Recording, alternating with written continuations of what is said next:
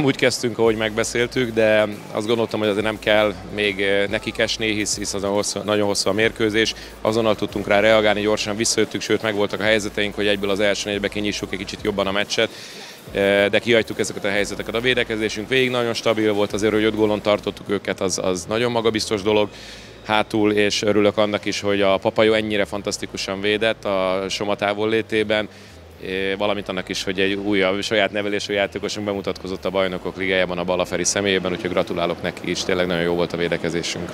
Nem szoktam üzengetni, és nem is nagyon szeretem ezt a szót ebben a pillanatban, de azt azért mindenképp szeretnénk mindig kifejezni magunkról, hogy minden mérkőzés meg akarunk nyerni. Minden mérkőzés fontos, és minden meccsre megedzésre úgy állunk oda, hogy mi legyünk a legjobbak az idei évben is. Nem is tudnék semmi rosszat mondani, tényleg fantasztikusan játszottunk, ennyi.